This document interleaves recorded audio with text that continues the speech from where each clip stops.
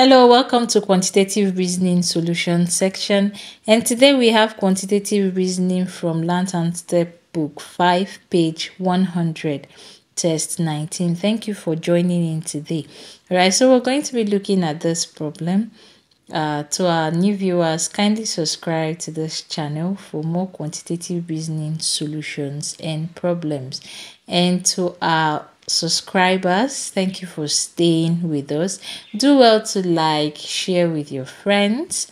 All right. So we have here we have 4 3 8 7 13 and here we have 7 and 8 11 6 15 5 and 9 all right. So uh this particular solution is coming from a request uh, from the comment section from one of the uh, previously posted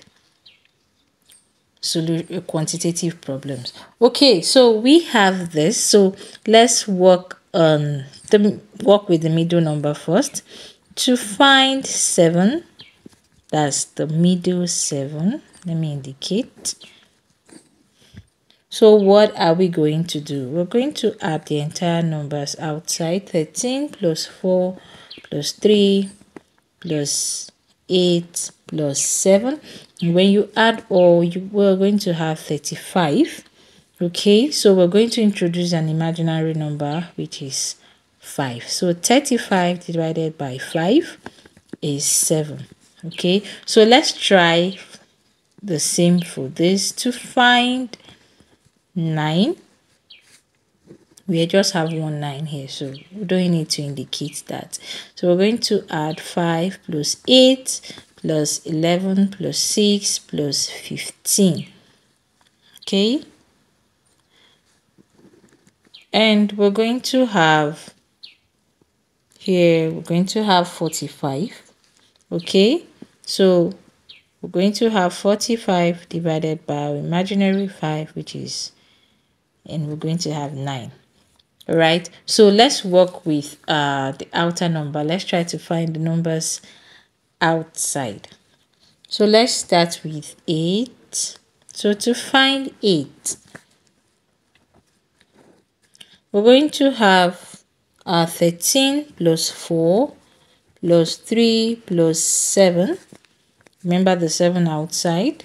And when we add all together we have 27 right? So what we're going to do is to multiply our imaginary 5 by the middle 7 which is 35 right?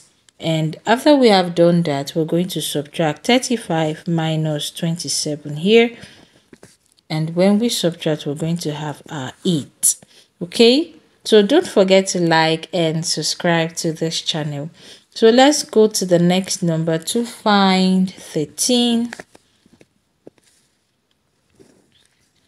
We're going to add the numbers outside except the 13. So 4 plus 3 plus 8 plus 7, right? And when we add all, we're going to have 22.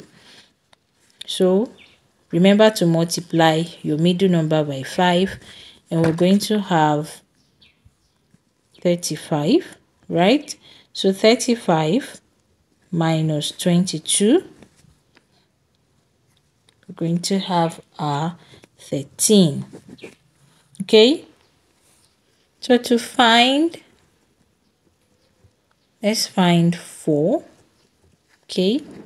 So to find 4 we're going to add 13 plus 3 plus 8 plus 7 and we have our 31 so our 5 times 7 is 35 so 35 minus 31 we have our 4 right? So let's look at the next number. We found our 4 our 13 our 8 and the middle 7 so let's find number 3 so let's use this side. To find 3 so to find 3 we're going to add as well 13 plus 4 plus 8 plus 7 which is 32 right? 7 times that's the middle 7 times 5 is 35 35 minus 32 is 3 and the next is number 7 the outer 7 so to find 7 the outer 7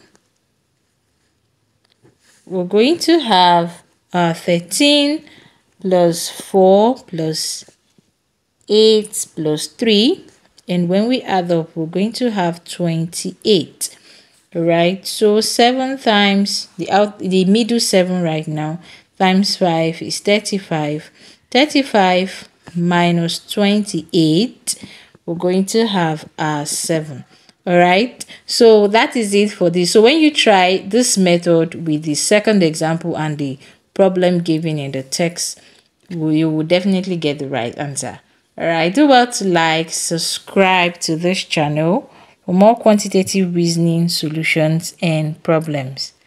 Bye for now